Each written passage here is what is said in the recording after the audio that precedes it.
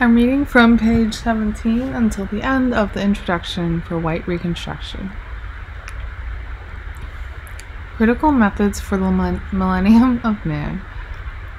Thus far, I have attempted to build a conceptualization of white reconstruction as a historically pervasive logic of reform, rearticulation, adaptation, and revitalization that periodically surges into the aspirational hemispheric to global projects of white being such as civilization, manifest destiny, civil rights progress and desegregation, and so on. Considered in the context of the recent and ongoing half century, White Reconstruction references a specific mobilization of institutional rhetorics, cultural and discursive regimes, political juridical strategies, and militarized racial statecraft that, Number one, sustain anti black and racial colonial domestic war as the condition of racial capitalism and the U.S. social formation. And two, constitute a political and cultural field of distinctly post apartheid struggles for hegemony that are strategically, unevenly, and inconsistently inclusionist, diversity directed, and or multiculturalist in form.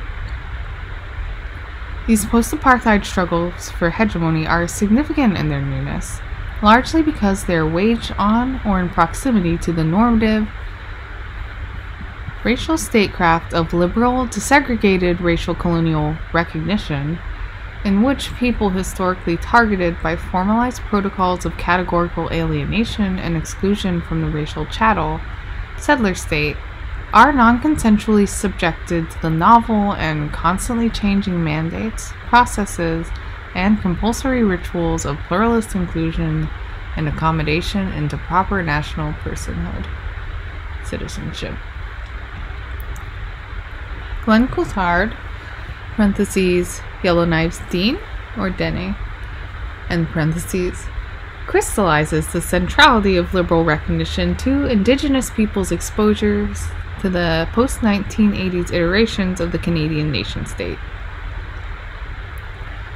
Quote, Instead of ushering in an era of peaceful coexistence grounded on the ideal of reciprocity or mutual recognition, the politics of recognition in its contemporary liberal form promises to reproduce the very configurations of colonialist, racist, and patriarchal state power that indigenous peoples' demands for recognition have historically sought to transcend.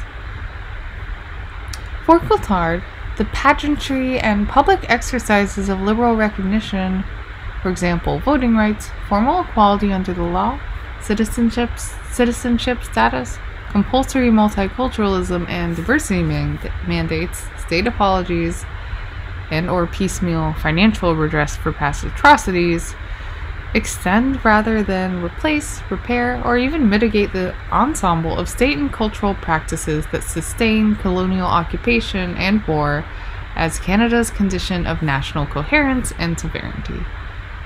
The implications of this critique are vast. The invasive premises of the liberal extension of politicality and full sociality permanently delineate, disrupt, and redefine the structures and discursive regimes of citizenship, freedom, bodily integrity, and personhood as they are contingently assessed by the non normative, non subjects, and targets of the anti black, racial colonial settler state. In this context, criminal law, policing, electoral politics, border militarization, corporate media, carceral schools, foundation and think tank funded academic research agendas, prisons, jails, reservations, detention centers, and other such institutions signify the relations of coercive power that overdetermine white Reconstruction struggles over hegemony. Parentheses, as the mediated, non coercive power of consent. End parentheses.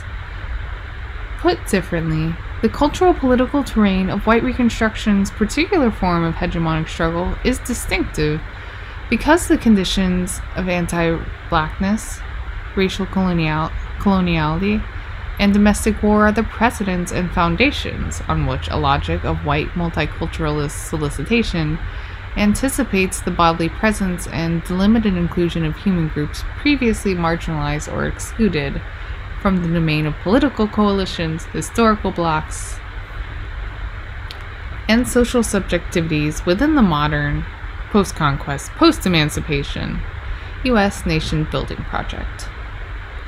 The following chapters examine white Reconstruction's ensemble of war, insurgency, consent, and solicitation through a combination of three analytical and methodological approaches. One approach entails symptomatic readings of specific historical moments, archival texts, and political cultural geographies within the contemporaneous ongoing half century of white Reconstruction's most recent and current reemergence. This symptomatic method encompasses discursive analysis as well as informed, creative, and periodically speculative explication of the events, cultural productions, political formations, and inhabited places that contextualize the logics of white Reconstruction in its moments and sites of enactment. How do the power formations of white Reconstruction look, feel, and read in their instances of articulation? How can intensive Analytical readings and re-narrations of such instances provide political intellectual tools for understanding the forms of anti-black and racial colonial power and dominance that constitute, rather than contradict or displace, the institutionalized narr- narratives of the liberal, multiculturalist racist state at the same time that they galvanize multiculturalist white supremacist statecraft and populist white nationalist political nationalist political cultures. A second method- methodological strategy involves a re-periodization of the projected white multiculturalist subjects of white Reconstruction.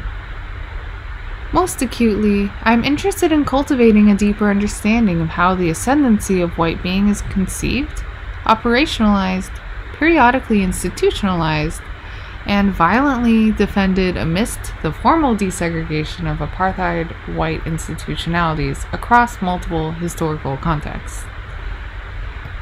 This form of engagement addresses the conceptual, ontological, and historical premises of white Reconstruction through theorized re narrations of prior, pre 1960s, archival moments in the entwined historical lives of anti blackness, racial colonial violence, and ascendant white being. I argue that at the core value of protecting and sustaining white beings' ascendancy not only defines the post US apartheid social formation, but also permeates the historical totality of white nation building and white supremacist globality. The interwoven regimes of liberal racial statecraft, white racial subject formation, and ontological reassembly, and systematic state and extra state violence are some of the technologies of Reconstruction that empower white being as an invasive aspiration to global universality, known as civilization.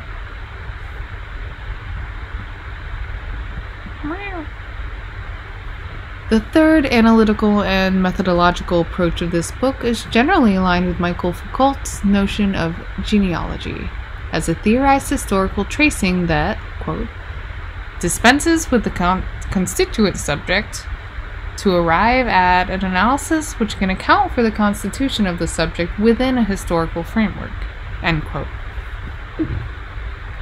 Foucault de- describes this method as a form of history which can account for the constitution of knowledges, discourses, domains of objects, etc., without having to make reference to a subject which is either transcendental in relation to the field of events or runs in its empty sameness throughout the course of history.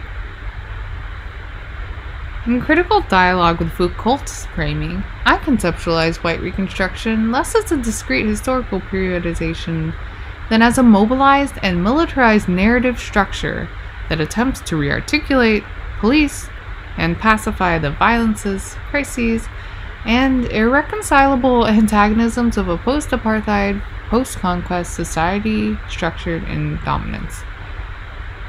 The genealogical approach allows for rigorous analytical, narrative, and archival practices that are not restricted to traditional discipline, disciplinary knowledge forms and methodologies. For example, scientific empiricism, archival and archaeological object study, strict, differenti- strict differentiation between primary and secondary texts, and so on. Further, a critical and capacious approach to genealogy allows for the crea- creative and attentive consideration of every imaginable cultural political text, including those that might otherwise be deemed too mundane, ordinary, unrefined, or uninteresting to serve as focal points of scholar- scholarly analysis and or critical knowledge making. Foucault argues for a counter anti-disciplinary disposition in the production of an insurgent historical episteme, that is, a form of historical knowledge that displaces and demystifies official hegemonic histories. Quote, we can give the name genealogy to the coupling together of scholarly erudition and local memories, which allows us to constitute a historical knowledge of struggles and to make use of that knowledge in contemporary tactics. Genealogies are not positivistic returns to a form of science that is more attentive or more accurate. Genealogies are, quite specifically, anti sciences. Genealogy has to fight the power effects characteristic of any discourse that is regarded as scientific. Compared to the attempt to inscribe knowledges in the power hierarchy typical of science, genealogy is, then, a sort of attempt to, to subjugate historical knowledges, to set them free, or, in other words, enable them to oppose and struggle against the coercion of unitary, formal, and scientific theoretical discourse. While I embrace Foucault's ap- approach to genealogy, I qualify my appropriation of his method with a critical rejoinder. In this book, the work of archival explication is simultaneously engaged in a demystification and disruption of the presumed epistemological agent and subject, that is, the active knowledge producer of Foucaultian genealogy. What I have elsewhere referenced as the subject position of white academic raciality. As conceptualized here, white raciality is simultaneously an epochal, epochal, hmm. disciplining knowledge project and a laboriously constructed ep- epistemic subject position, fabricated as the essential bearer of and respondent to epistemology as such. As both an epistemological project and collective subjectivity, white raciality inhabits a position structured in global histories of systematic power and dominance, articulated through post conquest and modern discourses of white, European, and Euro American racial transparency. For Denise Ferreira da Silva, the transparency thesis is a narrative of ontology an epistemological agency that yields white raciality as the quote transparent I. A transcendent sub- subject of history that is crystallized through violently universalized notions of man, and man is a proper noun, mankind, humanity, civilization, and human nature. Silva describes the transparent I as, quote, the representation of the subject historic histor- historicity presupposes and reproduces, which in its consti- constitutive, gosh, that is inhabited white raciality emerges always already in a contentious contention with racial others that both institute and threaten its ontological prerogative.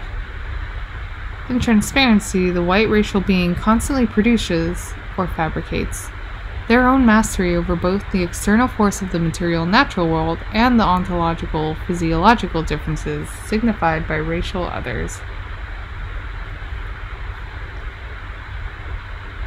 The narrow problem of white academic raciality surfaces in Foucault's genealogical method.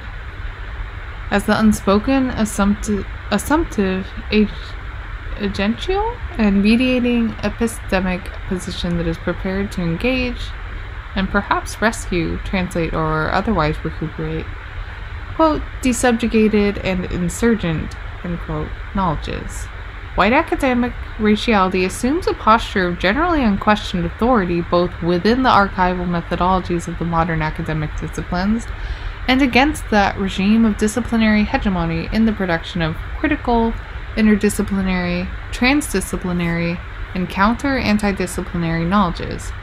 For example, Foucault's and Nietzsche's, etc., genealogy.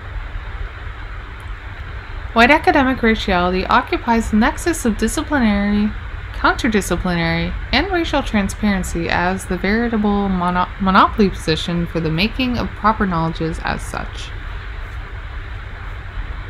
The genealogical method of this book reads white raciality against its self enunciations in white reconstruction, with special attention to its vindicating articulations of post apartheid white collective subjectivity and multiculturalist institutionality.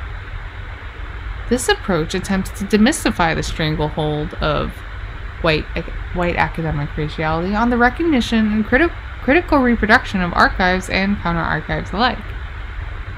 What if white raciality, including its academic variations, was subjected to others intrusive, disruptive, and epis- epistemically destructive genealog- gene- genealogical narratives? What if it were? Of course, it is possible to trace how of course, it is possible to trace how people on the alienated margins of the civilization academic coalescence have always engaged in some version of this critical creative practice as a matter of cultural survival and interdisciplinary liberation praxis. The point is to breathe freely and think openly while performing that work, which by necessity must be experimentally rigorous and rigorously experimental. While white academic raciality occupies a virtual monopoly position in the institutionalization of official knowledge, it is both possible and necessary to form a genealogical method that actively displaces this long standing white supremacist knowledge position. Ashon Crawley reminds us that the university, as a primary site of epistemic and institutional quote, struggle and contestation, end quote, accretes quote, settler colonial logics and logistics and anti black racism, end quote. Thus, the university, quote, in its normative function and form, is against the flourishing of abundance, end quote. As I have tried to clarify elsewhere, white raciality is not reducible to white people, as it encompasses piecemeal inclusions of non white racial others and is also appropriated as a paradigm for power, rule, and knowledge making within the parameters of modern nation building. Nation building, identity formation, and cultural production. White raciality is adapted, appropriated, and oft tacitly naturalized by other beings as a template for proper, respectable human being. In the following chapters, I attempt to model a critical tracing of the long archival knowledge regime of white raciality that embraces a methodological commitment to the obsolescence of white academic raciality as such.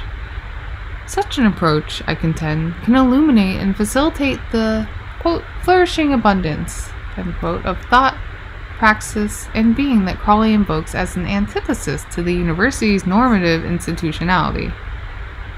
This labor invites a wondrous possibility that Foucault obliquely invokes but cannot consummate in his vast body of work.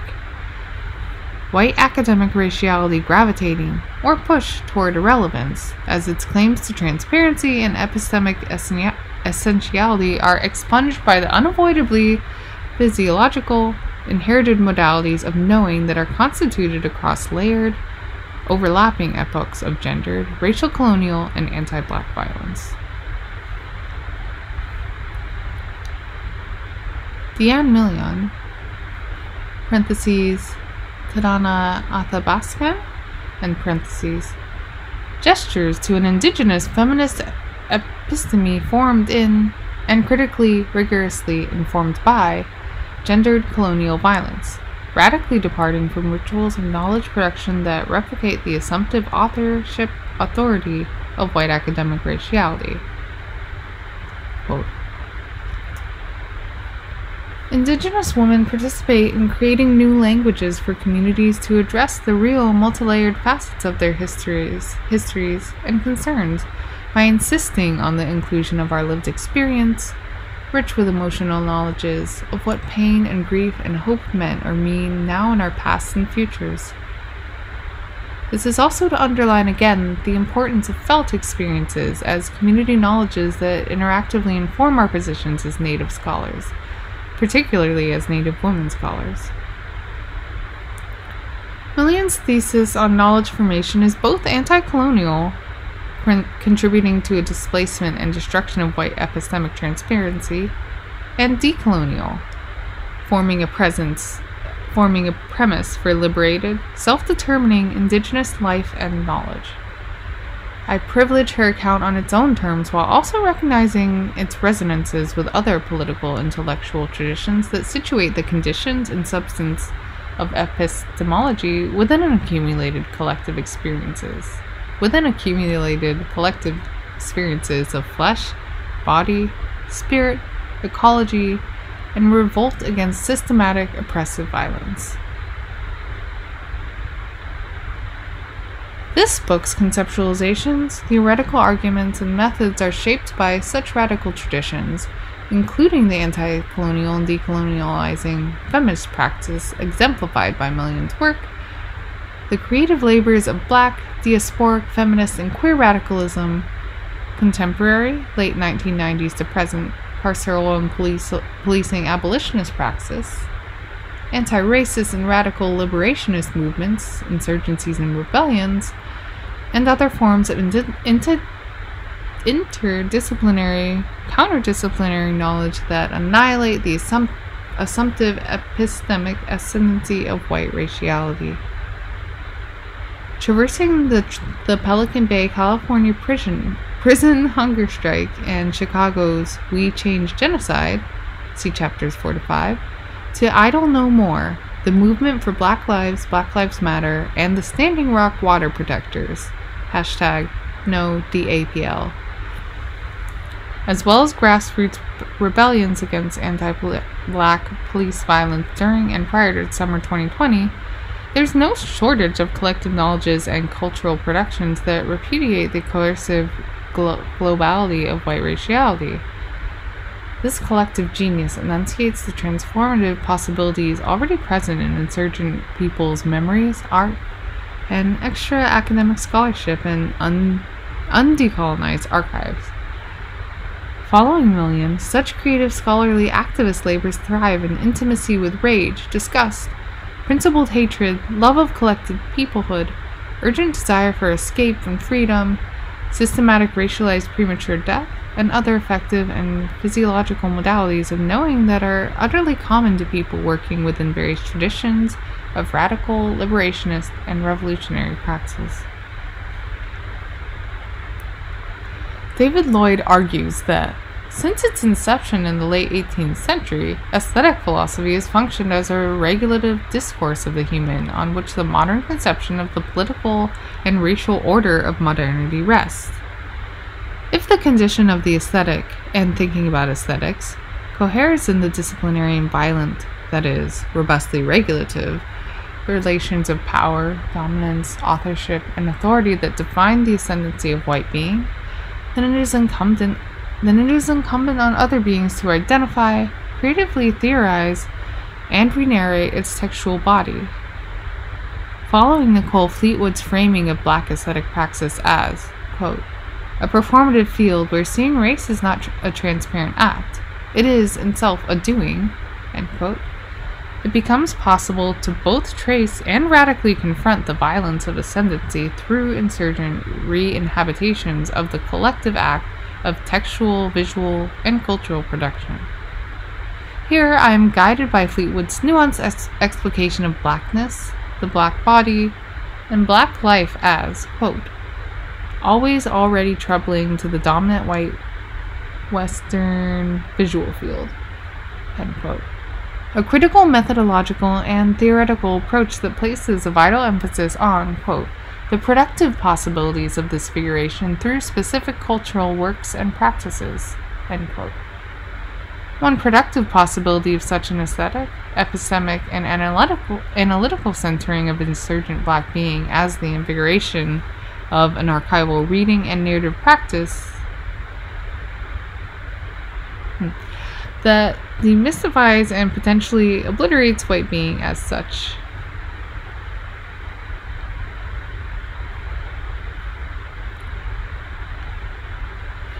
The, arc- the archive of white raciality is particularly accessible and multidisciplinary, surfacing in U.S. congressional records, Chapter 2, Human Rights Jurisprudence, Chapter 4, Body Art, Chapter 3, and State Counterinsurgency Strategies, Chapters 1 and 5. As this archive surrounds and permeates the cultural structures of white Western modernity and the ongoing civilization project, I contend that the texts of white raciality can and must be subjected to purposeful, intellectually principled, and rigorous methods of disarticulation. Such a critically aggressive posture is both justified and necessary, because the worldly, aesthetic, and discursive coherence of white raciality is mutually dependent on the long historical production of multiple, violently oppressive, and dehumanizing totalities exploration, colonial national sovereignties, racial chattel property relations, patriarchal racial capitalism, racial colonial sexual violence, cultural and ecological expropriation, epistemological conquest, and so on. Here, I'm committed to a project that subjects white raciality to a leveling, that is, a critical renarration against its own generalized terms of liberal, rational, teleological, self valorization, progress, and global humanitarian humanist subjectivity. In this context, the contemporary moment of white reconstruction indexes a longer archive of white raciality that must be critically, relentlessly theorized and traced. Katherine McKittrick's archival dance with demons is instructive here as it moves on the otherworldly surfaces of black women's collective historical encounter with an unfathomable, unfathomable, through though persistently narrated, white racist anti-black misogyny. Read alongside Million, her critical theory of methodolo- methodology expands and multiplies the temporalities and locations of epistemology as such.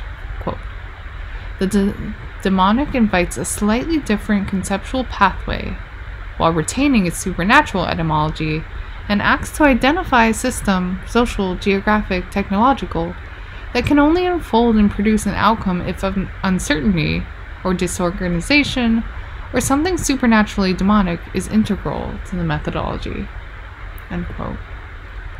McKittrick's, McKittrick's radical black feminist demonic grounds form an altogether different conception of spatiality and geography, centering a genealogy of the historical spatial unrepresentability of black femininity in order to rethink human geography against the ways it has been conceived, inhabited, and reproduced through the regimes of white academic raciality. Spurred by Wynter's unparalleled critique of Western humanism, McKittrick's methodology re- reveals as it rejects the racial colonial power of white raciality, quote, man, end quote, as a both epistemological position and actively inhabited epist- epistemic project. Quote, Wynter's demonic model serves to locate what she calls cognition outside, the always non arbitrary pre prescribed, which underscores the ways in which the subaltern lives are not marginal or other to regulatory classificatory, classificatory systems, but instead integral to them. This cognition, or demonic model, if we return to the non deterministic schema described above, makes possible a different unfolding, one that does not replace or override or remain subordinate to the vantage point of man, but instead parallels his constitution and his master narratives of humanness. On the other side of the demonic is the archival mundaneness of evil, that is, man's evil. This archivally mundane evil conditions and is actively produced in the ascendancy of white being and the oppressive covenings of white academic raciality. A critical archival labor can and must be undertaken on this other side, informed by the demon- informed by the demonic as it tells stories of evil's origins, speculates about terror's genesis, and excavates the sinister thoughts lurking behind the smiling, smirking faces that re-articulate master narratives old and new.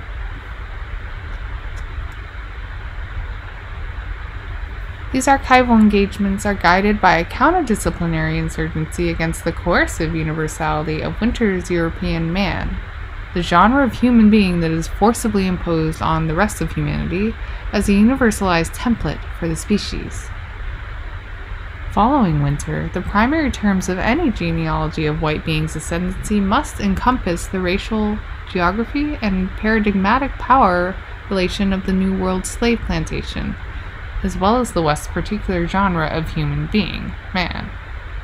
She writes, quote, The New World slave plantation is a dominant logic, and it's a specific cultural logic, but it is also an ethical logic, a paradoxical realpolitik, and a secular one that is in the process of emerging. It is the reasons of state, ethic, logic, ethic and logic that is going to bring in the modern world, what I call the millennium of man. We have lived the millennium of man in the last 500 years. And as the West is inventing man, the slave plantation is a central part of the entire mechanism by means of which that logic is working its way out. But that logic is total now, because to be the not man is to not is to be not quite human. Yet that plot, that slave plot on which the slave grew food for his and her subsistence, sus, subsistence, subsistence, carried over a millennial other conception of the human to that of man's. End quote. In the raging internal antagonism of civilization, Wynter's ongoing millennium of man, there is an insurgent proto revolutionary conception of the human that is inhabited, nourished, and collectively sustained by the enslaved. For Wynter, the enslaved, that is, incarcerated, deracinated, denigrated, captive Africans in the New World, produce modalities of communion, kinship, and physiological cultural reproduction via creative de- genius that permanently disrupt man's colonial anti black universalization. White Reconstruction apprehends white academic raciality as a fiction that is simultaneously produced by and constitutive of the epochal project of civilization, within which U.S. nation building is arguably the paradigm paradigmatic, paradigmatic modern expression. In this sense, the most recent, recent iteration of white reconstruction is new only in the sense that it marshals the post apartheid technologies of racial liberalism, specifically the piecemeal, compulsory, and or disciplinary inclusion of non-normative bodies into normatively white supremacist, heteronormative institutional spaces in the service of sustaining the ascendancy of white being well into the 21st century.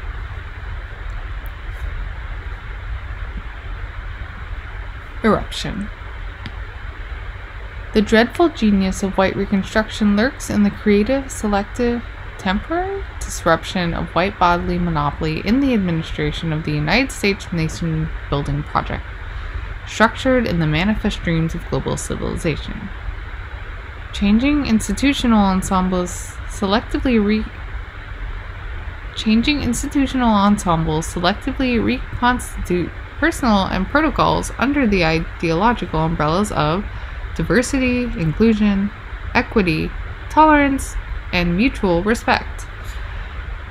In doing so, there is a reassembly of long familiar re- relations of dominance, legitimated state terror, and misery making, guided by the nation building imperatives of gendered racial criminalization, colonial occupation, and displacement, and normalized domestic to global carceral war. Within this extended moment, the long relations of chattel, frontier, patriarchal and heteronormative violence thrive within a vexed racial common sense. White Reconstruction attempts to cultivate a counterdisciplinary intimacy with the historical violence of gendered anti blackness and racial coloniality for the sake of contributing to dynamic and growing eruptions of critical, radical, and abolitionist praxis. The notion of eruption is multifaceted. In ecological terms, it references a sudden increase in an animal population within a specific geography as a result of migration or displacement. Somewhat more commonly, eruption, eruption suggests a forcible or violent intrusion. intrusion. The following pages are a study of and tribute to the spectrum of eruptions that defined the long half century of white reconstruction. Eruptive surges of human movement, mobilization, and dispersal, collective radical creation and critique, and various formations of community within movements of insurgency and revolt are the constant rebuttals to the lasting cultural economic consequences of what Lewis Gordon names institutionalized dehumanization, and what Saidiya Hartman, Zakiyyah Iman Jackson, and others apprehend as the perpetual subjugation of black human being to the criminalizing violence, objection, and ontological vulnerabilities of the epochal chattel institution. Many of these eruptions seek the abolition and or revolutionary transformation of systematic immobilization and misery, prisons, defunded and police schools, militarized borders, and state-occupied streets and skies. Focused densely strategized and theorized praxis radically inhabits, invades, and infiltrates the carceral sites of white reconstruction, drawing from multiple wellsprings of decolonial sovereignty, black radical creativity, feminist organizing methods, and transformative queer rearticulations of place, body, and subjectivity, among other living traditions. Such are the primary indications of systematic and collectively experienced distress, that is, of white reconstruction as an ensemble of projects that attempt to normalize the antisociality of gendered, racialized, targeted people's differentiated, state sanctioned, or extra-legal vulnerability to premature death. Each of this book's chapters attempts to address different related inhabit- inhabitations of this historical present tense. The aftermath of U.S. apartheid's formal abolition has been overwhelmed by jur- juridical and narrative national cultural vindication of, quote, civil rights as the vessel of fully actualized gendered racial citizenship. This fraud has facilitated rather than interrupted the expansion and proliferation of a domestic war war waging regime. For the sake of momentary simplicity, consider the prevailing national narrative. The half century legacy of civil rights victory rests on an always fragile but persistent common sense notion that na- national political culture, quote, America, and reformist law and statecraft, let us call this the dream, have definitively, irreversibly endorsed official racial equality. Bound by this narrative political arc, the racist state's mechanics shift and multiply to rearticulate a condition of normalized anti black racial colonial violence that is condoned or even applauded by the institutionalized regimes of civil rights. Under the terms of this political cultural regime, the early 21st century crises of racist state violence, from homicidal anti black policing to the ecological toxification of indigenous and black ecologies, are not best understood as tragic deviations from an otherwise rights respecting liberal sociality. Rather, such crises index how the post 1960s civil rights regime is entirely compatible with, if not directly complicit in, a still emerging culture and statecraft of criminalization and proto genocidal violence that affirms the nationalist dream of post civil rights citizenship.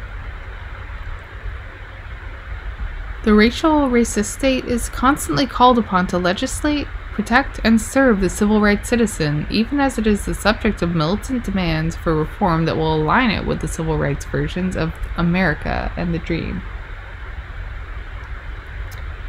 This contradiction yields ever increasing layers of gendered raci- racist statecraft in the post optimist's age of Obama Trump.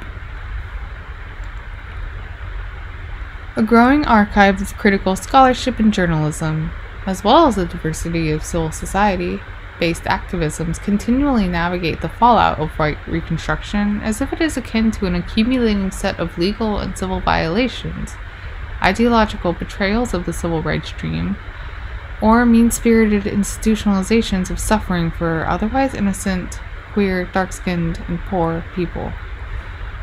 Critical scholars and teachers, nonprofit and non governmental advocacy organizations, legal campaigns, and mass protest mobilizations energetically spread progressive discourses of social and economic justice, anti racism, accountability for sexual violence, civil human rights protection, and redemptive citizen personhood against the ugliness, abuse, and sickness that seem to perforate and puncture the dream. Yet there remains an overwhelming cultural and political insistence that the last half century is a time of generalized racial progress, even as proliferating spectacles of atrocity betray the omnipresence of unspectacular racial, colonial, anti black violence across the American totality. In the pages that follow, I will attempt to contribute a theorized counter narrative of the historical present tense that departs from such liberal progressive narratives and their various derivations.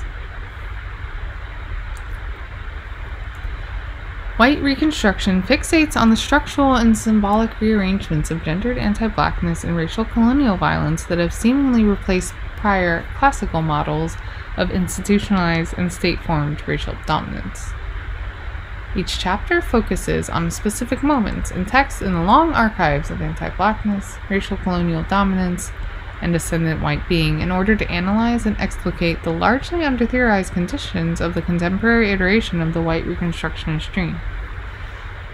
I intend for this critically scholarly labor to contribute to a deeper appreciation of the origins, methods, and radical creativity of the different forms of insurgent collective genius that galvanize within and against the deadly civilization experiment. Chapter 1 I Used Her Ashes Multiculturalist White Supremacy, Counterinsurgency, and Domestic War frames the critical study of white reconstruction in continuity with this introduction. Departing from a reflection on how critical scholarly work on the body and embodiment is redirected by Hortense Spillers' indispensable explication of blackness, gendered chattel, captivity, and flesh, the chapter considers the disrupted sociality of the body under conditions of anti blackness and racial colonial power. Close attention to the nuances of Cedric Robinson's formation of racial capitalism provides a vital elaboration and extension of this critical framing and further contextualizes the analytical and theoretical method of this book. The chapter attempts to illustrate the implications of these critical theoretical structures by closely reading and counter narrating, counter narrating the Los Angeles Police Department's Joint LAPD Diversity Recruitment Initiative. Departing from a moment of black revolt against the normalized, jurid- juridically sanctioned violence of the LAPD, the chapter concludes with a preliminary conceptualization of an abolition abolitionist praxis that considers its anchoring in the black radical tradition while gesturing to its capacity to inform and influence the other liberationist visions.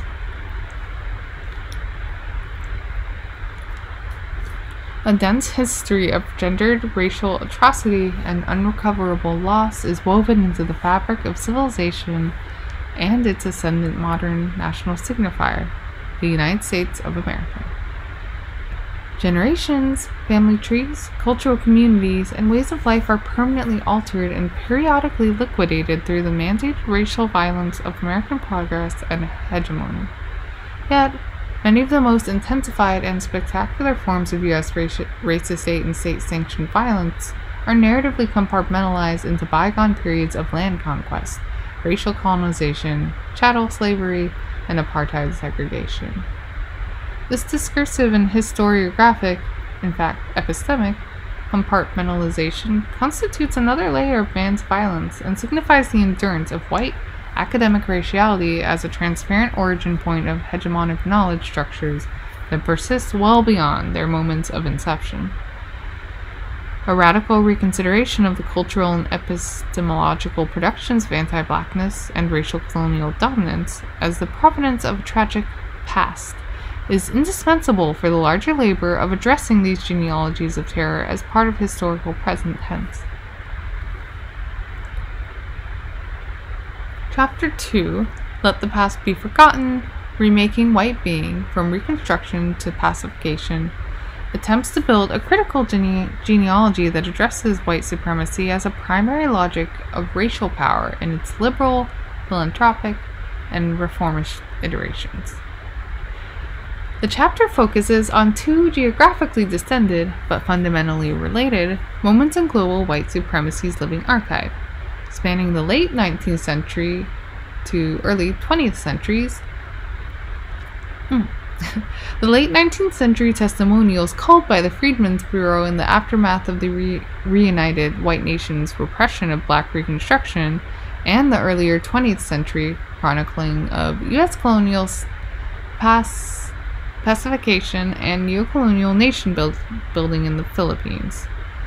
This meditation on turn of the 20th century white reconstructionist statecraft opens into a conception of white supremacy as a formation of power that traverses global circuits of trauma, fatality, and social disruption, each of which is central to, in fact, historically determinant of, the present tense of civilization.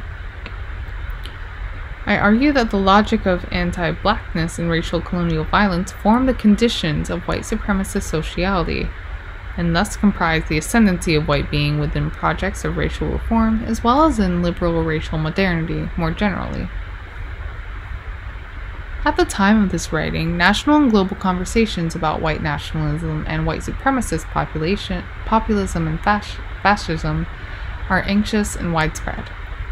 The reactionary social dreams affirmed and institutionally empowered by the 2016 election of Donald Trump have provoked a spectrum of responses that demand a course correction of the racist state and revivified commitment to the ideological premises and promises of both America and the dream.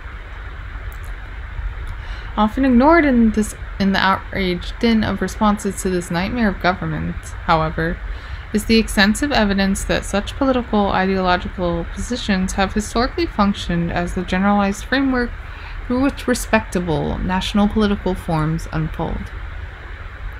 While Trumpism catalyzes and legitimates the reactionary white, overwhelmingly male and masculinist violence through various symbolic, state, and extra state, as well as extra legal methods, this moment of aggressive white nationalism overlaps with prior periods of multiculturalist white supremacy that anticipate the emergence of contemporary post racialism. Chapter 3 Goldwater's Tribal Tattoo on Origins and Deletions of Post Raciality makes use of Silva's concept of raciality to define post raciality as both an enabling condition of white reconstruction and the necessary preconditions for the articulation of early 21st century post racial discourse. Here, post raciality is the historical and discursive precedent for the 21st century post racial pol- political rubrics and social rhetorics.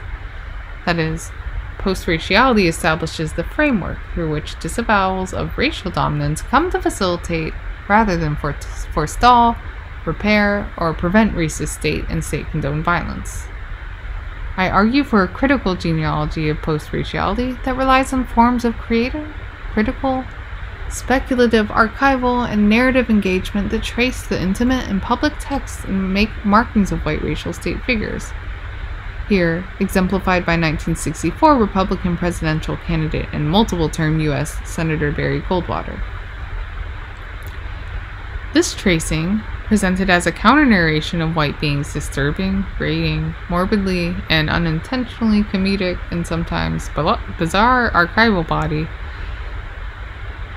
demystifies post racial discourse while situating it within the longer continuities of racial dehumanization, anti blackness, and logics of racial colonial genocide.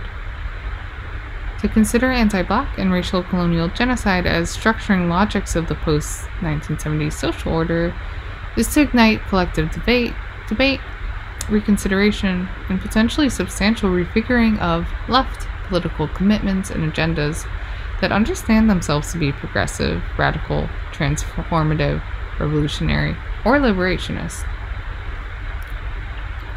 White Reconstruction embraces counter civilization readings of insurgent human, as well as extra and non human, archives as a way of honoring the creativity endemic to the endangered practices of human being against the fatal ascendancy of white being. An analytical centering of anti black and racial colonial genocide in the contemporary moment incites a critique of political vernaculars, activist paradigms, academic research agendas that may generate incisive rejoinders to the reformist logics of the white Reconstruction period. From the National Urban League and the Civil Rights Congress to incarcerated Georgia and Pelican Bay prison strikers, there's a far reaching body of scholarly writing, police reports, documentary film, grassroots publications, art, investigative journalism, editorials, organized protest, and other forms of knowledge production that address the institutional practices and normalized cultural structures of anti black and racial colonial genocide. This living archive refutes the liberal American common sense that compartmentalizes the time of genocide to the distant past. To the contrary, the archive illuminates the multiple, complex forms that racial violence, social liquidation, and life curtailment have assumed in the descended aftermath of chattel, slavery, land, contact, land conquest, and classical white supremacist nation, nation building. Chapter 4 Civilization and its Bread and Waters, Anti Black, Racial Colonial Genocide, and the Logic of Evisceration reconsiders how the modern concept of genocide provides an incomplete rubric for apprehending the historia- historicity of gendered anti blackness and racial colonial violence. Genocide, as a modern conceptual and jurisprudential formulation, is the impasse of the racial. To invoke its term already suggests exceptionality and absolute or abnormality Yet the formations of anti blackness and racial colonial power in all their iterations rest on logics of the genocidal that collapse into regimes of normal, normals, normalcy, normativity, universality, and humanism, and sociality, civil society. In this sense, genocide is a discursive regime that invokes but cannot fully engage the layered historical violence of civilization as global order critically departing from the hegemonic legal, United Nations, and academic discourses on genocide, the chapter moves on to consider several examples of radical practice that appropriate and rearticulate gen- genocide discourse in confrontation with the fundamental, fatal violences of anti blackness and racial colonial power. I argue that these genocide poetics not only reflect the ins- insufficiency of liberal progressive activists and jur- juridical rights based vernaculars for communicating the everyday violence of anti blackness and racial colonial dominance, would also inaugurate a critique of hegemonic human rights rhetoric. Genocide poetics can and must be rigorously engaged and critically appreciated as moments of artistry and creativity, where gen- genocide is repurposed as a weaponized poetry of freedom seeking insurrection and radical self determination mobilized in an eruptive announcement of emergency against a state of normalcy. To think radically while thinking long historically requires constant recognition of how seemingly bygone, past tense violences continually shape the present and often reappear in the world as if they never left at all. Consider how those who, who have differently inherited or survived the anti black racial colonial past cannot escape its practices of power, including its languages, images, institutional legacies, and intertwining pathways of ecological, psychosocial, physiological, and communal damage. Such coerced heritages impose a political, intellectual, and ethical burden on scholarly activists, academics, artists, and creative cultural workers, journalists, independent scholars, legal professionals, teachers, students, and everyday critical thinkers of all kinds. The existing and or prevailing terms of critical political and cultural discourse must be analyzed, debated, and dynamically challenged in order to avert the pitfalls of white multiculturalist liberal appropriation. Chapter 5 Mass Incarceration as Misnomer Domestic War and the Narratives of Carceral Reform closely examines how mass incarceration has become an early 21st century keyword of shared grievance, national moral outrage, and liberal humanist alarm that simultaneously disavows and re narrates anti black carceral warfare. This chapter argues that such keywords distort and misapprehend the systematic violences cultivated in the gendered chattel colonial statecraft of the United States, while effectively displacing other scholarly, theoretical, and insurgent activist languages of revolt. As a phrase that invokes a sense of historical crisis, mass incarceration induces a multiculturalist liberal progressive coalescence that reifies reformist notions of unfairness, systematic bias, racial disparity, and institutional dysfunction. Under the fraudulent terms of an emergent national narrative, the fallout, misery, and asymmetrical casualties of domestic war can be resolved and repaired through vigorous internal auditing, aggressive legal and policy shifts, and rearrangements of carceral, jurid- juridical, and policing infrastructure. The chapter contends that such reformist measures reproduce and ultimately enhance the tactics and technologies of gendered racist criminalization, police occupation, and human capture that constitute the militarized cultural, jurid- juridical, and institutional infrastructures of domestic warfare. Thus, the temporary narrative of, ma- of, mass incarceration endorses an intensification of policing as both a premise and a method of carceral reform. Carceral reform? Okay. Finally, the epilogue, Abolitionist Imperatives, departs from a historical mandate that conceptualizes the abolition as a creative, imaginative, speculative, collective labor grounded in black radicalism and its speculative practice, praxis.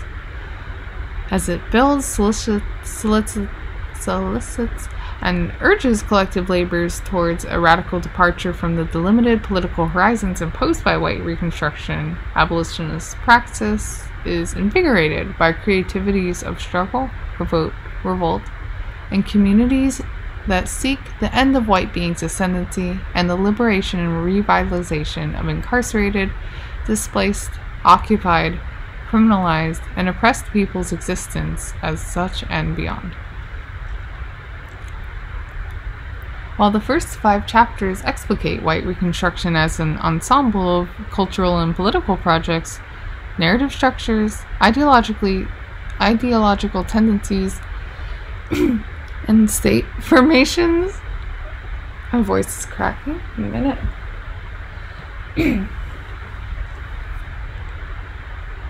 okay.